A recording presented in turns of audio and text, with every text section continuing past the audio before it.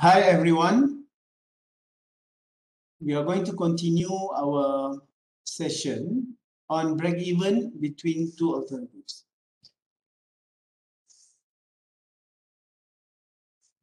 To what, what's the purpose of um, this uh, session? It's actually to determine the value uh, of common variable between two alternatives.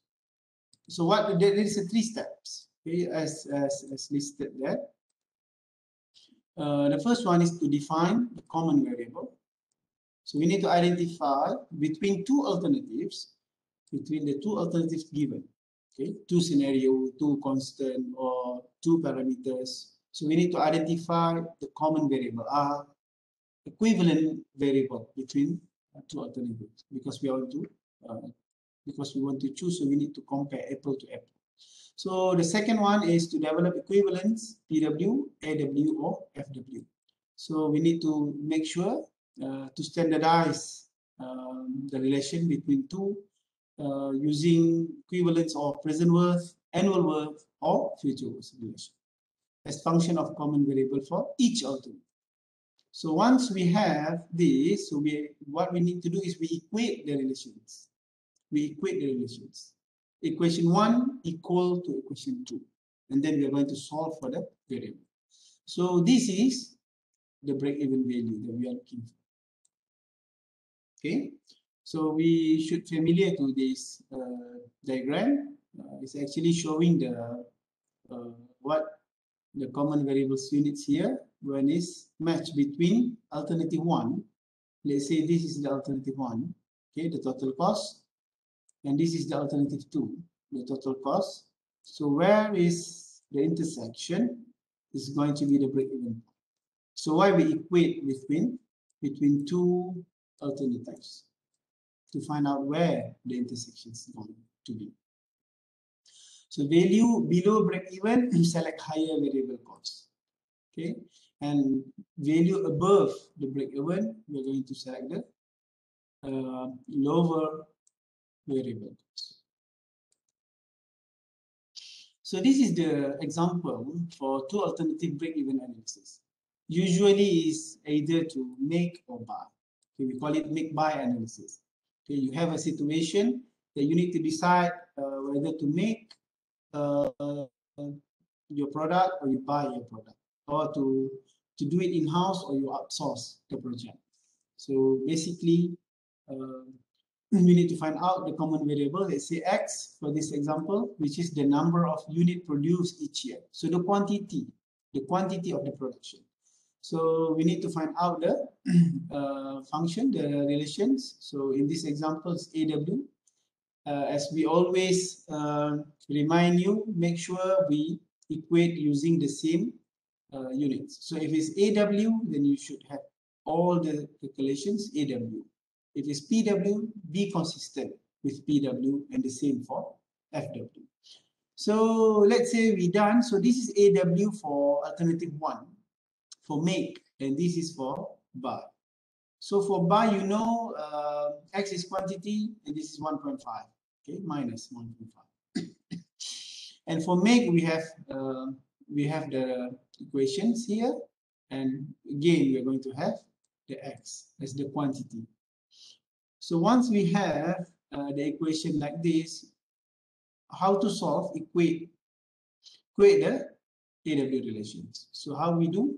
So we solve for this first. Okay, we solve for this first. Sorry, solve for this one first. So you got this value.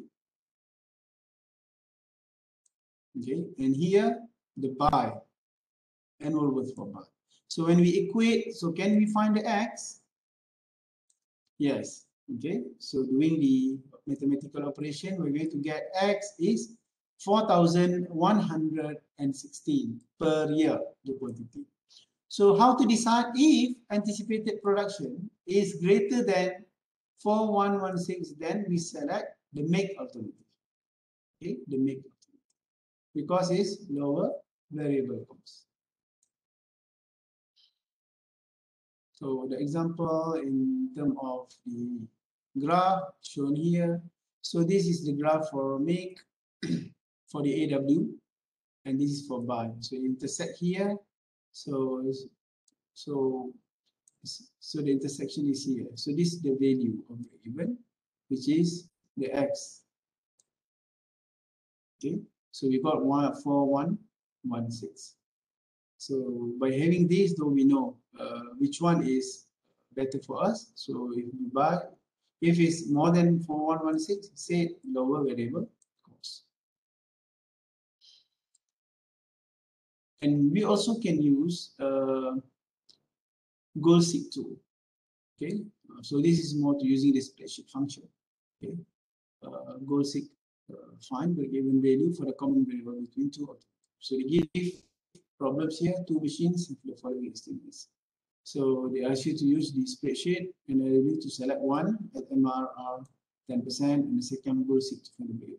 So here they're going to uh, uh, show the example on using this. Okay. Basically, you need to understand the function here, okay, which we, we, we didn't cover in, in, in our scope this time. Okay. So, but just letting you know that we have uh, the function uh, of, of this using, using the spreadsheet. So this is goal seek fund. So this is the information that we fill up. Okay, so you're going to get the get information, ready insert. It's fine. Just go to the. Uh, this is the example. Okay. Uh, so providing so you can try to do this, uh, providing restroom at parks, zoos, and other city-owned recreation facilities is a considerable expense for municipal government. City councils usually opt for a permanent restroom, so they they want a permanent restroom in larger parks and portable restroom in smaller smaller parks. So the cost of renting and servicing portable restroom portable restroom is 7,500 per year. So in one north, northeastern municipality, the parks director informed the city council that the cost of constructing a permanent restaurant is 218k and the annual cost annual cost of maintaining it is 12,000 per year. So he remarked that the rather high cost is due to the necessity to use expensive materials and construction techniques that are tailored to minimize damage from vandalism that often occurs in unattended public facilities. If the useful life, okay, so here they're giving you N, of permanent restroom is assumed to be 20 years. How many portable restrooms could the city afford to rent each year and break even with the cost of one permanent facility. So I is 6%. So now we are going to equate uh, what if you want to solve this problem. Okay, actually we're going to find uh, X number of portable restroom. Okay, uh, and it break even with the cost of the one permanent facilities. So we are going to equate the portable restrooms cost with the permanent facility. So I hope, so I hope you can you can try this uh, so you can uh, have a better understanding on this uh, payback period analysis. So uh, cost for renting, okay, cost for cost for renting.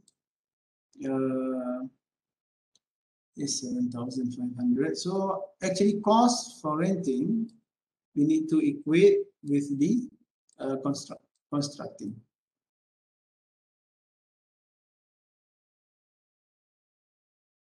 Construct. So basically, uh, it's good if you can uh, draw the cash flow diagram to illustrate the environment, the situation.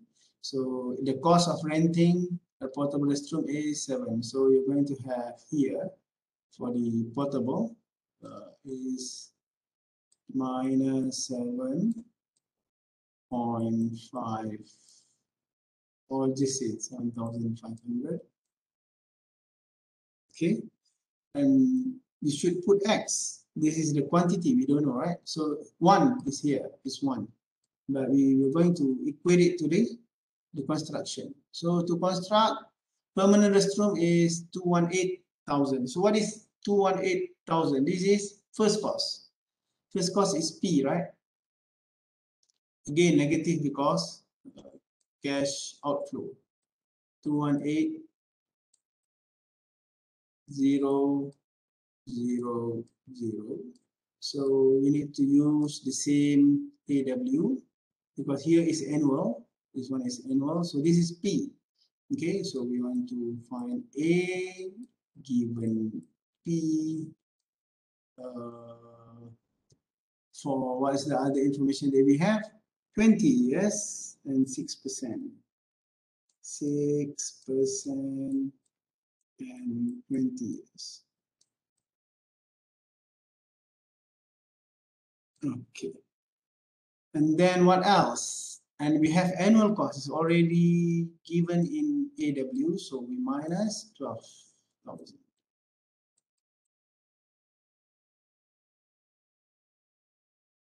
okay so you're done on this. so if you solve uh, for this one, you're going to get, uh, so please refer to the table for this one. AP620 was what would be the, the value or you can use the formula to calculate.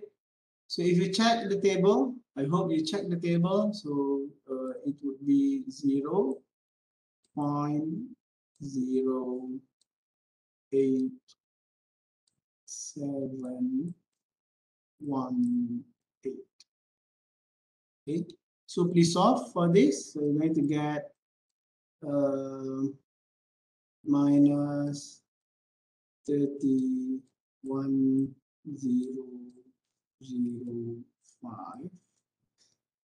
point 24 okay so here is seven five zero zero x.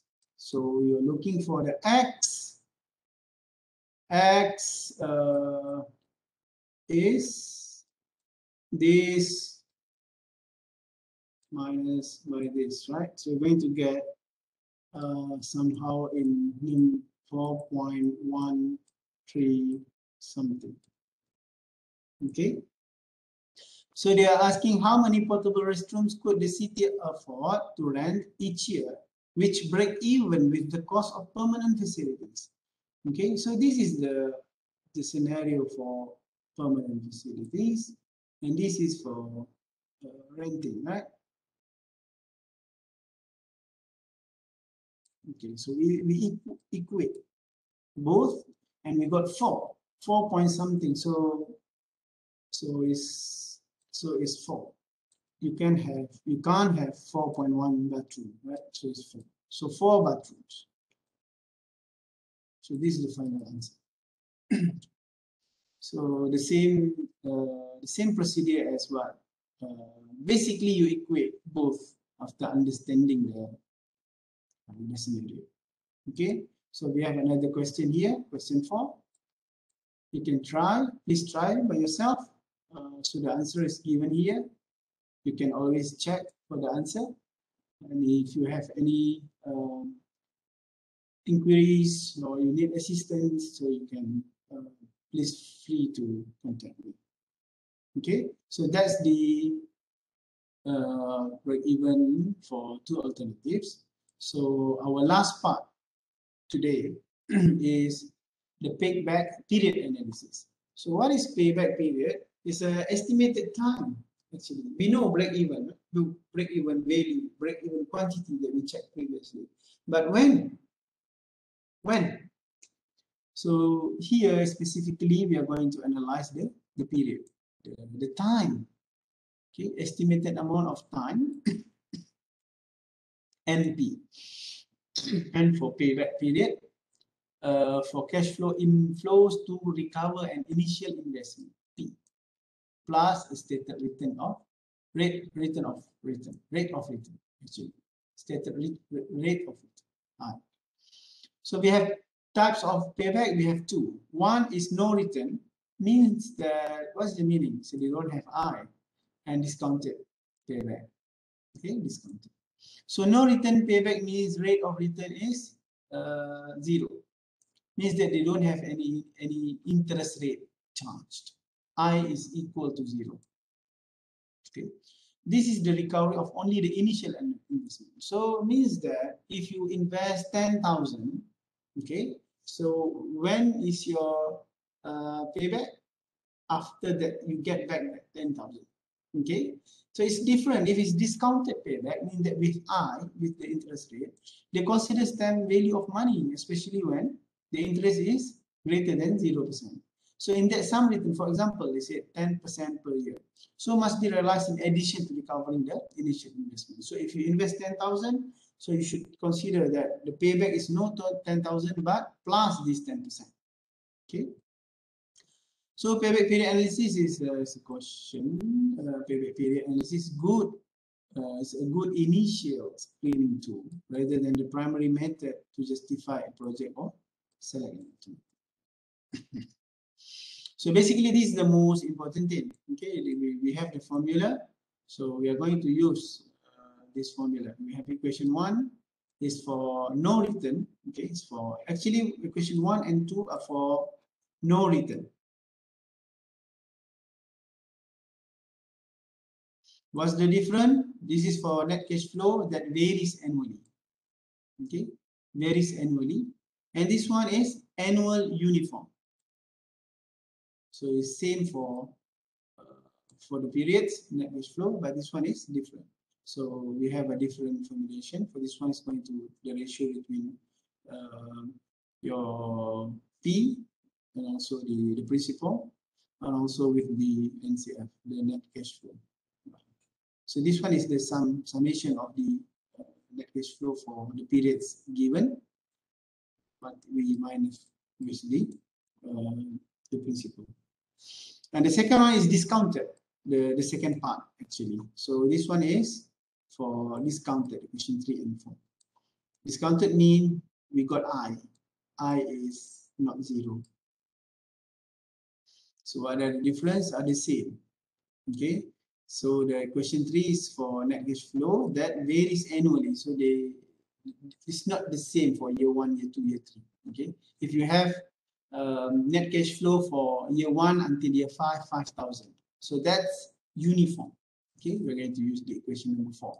But first year is 5,000 you got, the second year is 3,000, then 5,000, 1,000. So it's not, it's not uniform. So that we call varies annually. So we are going to use equation three. So basically you need to uh, remember that we have this formula, which is 100% is going to depends on this formula. So these some of the points to remember about payback analysis. No return payback neglect time value of money. Okay, so no return is expected for the investment. Okay, we are clear on this. No cash flows after the payback period are considered in the analysis. Return may be higher if these cash flow are expected to be paid. Okay. So no cash flow after the payback period are considered. Means that we, we consider the payback period fine. So after that, we are not going to um, consider. And if we consider, we're going to have a more, uh, more higher uh, gain. Approach of payback analysis is different from PW, AW, and ROR, uh, BC analysis. A different alternatives may be selected using payback rely on uh, payback as a supplement to use PW or uh, AW.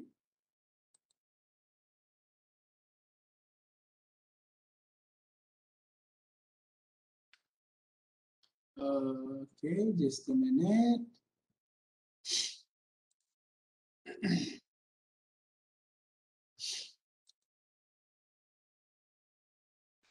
okay, check on this. Uh, okay. So we are here just now. Uh, use PW or AW at the bar. Sorry. Here. TW, Okay. It's different from PW, AW, and ROR and BC analysis. A different alternative may be selected using payback. So rely on payback as supplement to, but we use PW or AW at the for available decisions. This is especially when we want to decide. Okay, so discounted payback I is more than zero give a good sense of risk involved. Okay, fine. So we're going to see the example. Uh, I believe the, the last example, maybe. So for the payback analysis. So this is the scenario given, system one and system two. Of course, we need to choose which, which system are good or we can get the return earlier, the return, the payback. So this is the first cost. This is the net cash flow. Uh, this is clear. They, they only have uh, per year 3000 okay and maximum life 7 okay uh, so system 2 we have 8000 the first cost and net cash flow for year 1 to year 5 uh, is for 1000 and then for year 6 to 14 is 3000 and maximum life is 14 okay so problem use a no return payback. B discounted payback at 15 percent. So the first one is no return payback means that we don't have we don't have uh, i so for no return payback so go back to our formula. No return is this one. And then uh, which formula we are going to use? So either if it's uniform, equation 2, uh, varies, equation 1.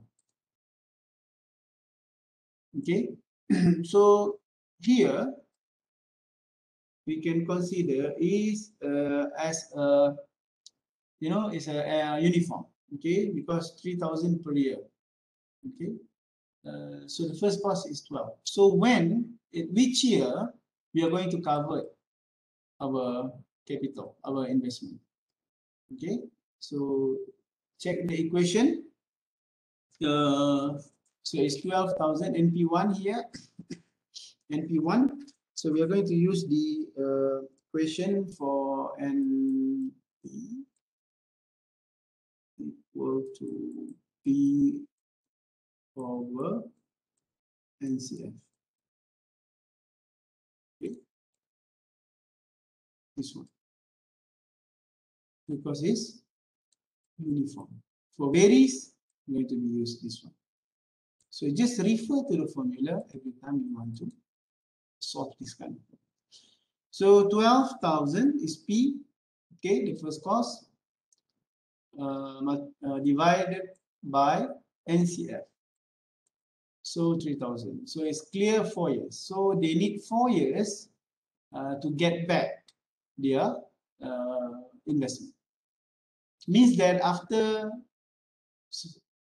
seven years maximum life, right? So they have seven years. So the other three years, they're going to make profit.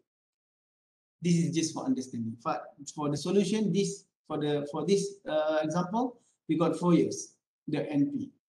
How about NP2? So this one we're going to use another uh, equation, equation 1, because it's varies annually. Okay, minus P plus the summation of N uh, of this. so this one P minus P plus okay this uh, 5 okay 5 because uh, you know, uh, 5 plus, multiply with 1000 and then plus 1 multiply with 3000. So uh, the first 5 years is 1000. Okay, this one. And then we have 3000 here, 3000 here. Okay, year 6 to 14. So why is 1? why is not uh, nine years? Okay, year, year six to year 14 is nine. Why? Why they put one? Actually, if we if we back to the formula, you see, is zero. Okay, we want it zero. When when we get back the when we get back the investment that we did here, the 8,000. Logic, use, use our common sense. So the, the investment is 8,000. When you're going to get back 8,000, so 5 multiplied with 1 is uh, 5,000. So we need 3 more thousand, right? So the, the year 6, we got 3,000. So we need just one year, means that year number 6 to, to, to cover our capital. So why we got 6 years? So we need to remember, we, we, we need to equate this into 0. We want 0. If you put 9 years, or whatever the years, 8 years or 7 years, they're not going to get this. Even this means that after year 6, they're going to make profit. So year 7 to year 14, they are making profit. What we are calculating here is when is when we are going to get back our investment. So considering you need four years for uh, system A and six years for system two, which one you're going to select? Of course, we are going to select the system that will break even or will give, will pay back us earlier. Okay, so we select system, system. Okay. okay, so we continue. Uh, the payback analysis for uh, for second question being asked. Okay, uh, discounted. Uh, payback done. This one is PW and this is to select system. Okay. So B, use equation 3 and 4. Okay. Uh, here, here is, is what's the question? We have I. We have I. I been given as 15%. Okay, so go back, check the formula again. Okay, uh, this one is for varies annually. This is for uniform. So we need to use both of the formula because we have uniform and we have varies. So the same thing we need to uh, make it we want we want it at uh, at zero. So 12,000 the P this is for system one. Okay 12,000 plus 3,000 uh, is given in A per year. Okay so we need to find B, P. So it's 15 and we don't know right? P1 we want to find the P1 uh, so it's 6 point 6.6 years if you solve this, you're going to get 6.6 uh, And then system 2, uh, use the another formula, uh, 0. So this is the P. And then for this one, it's 1000 A. So we have to shift it to P, 15, and it's 5. Plus this 3. Okay. 3000 PA. A is given, we want to shift it to P, 15. So this is the period of uh, uh, of this one, okay, of this 6 to 14, okay, 6 to 14. And then since you have, if you if you draw the cash flow diagram, you know, it's going to be more clear. So now it's P, but P at year five. Okay, so we want to shift it to year uh, zero. So it's become F. So we, we shift it to P, 15%, 5. So we're going to get 9.5 years. So if we compare 6.6 years and 9.5 years to recover, so we're going to select system 1 because it's quick, uh, six, earlier than this is the second system. Okay. And here is find PW. So we just uh, change everything to, I mean, calculate the PW in order for uh, for 15 years, right? For 15 years. Sorry, 14 years. So this one, it's going to uh, have the same cycle for two two cycles. So we need to calculate the cost involved. I think you, you learned this in the basic previous chapters. So you should get uh, 63 and 24 uh, zero seven zero. So for PW1, uh, you got 63 and PW2 is 2470. So in this case, in this case, they select system 2. So they have a comment here, PW method considers cash flow after payback period. Okay, so PW is after, so why is, because here is our 6.6, you already um, got your payback, but you're going to count until 7. But if you want to equate the extra time,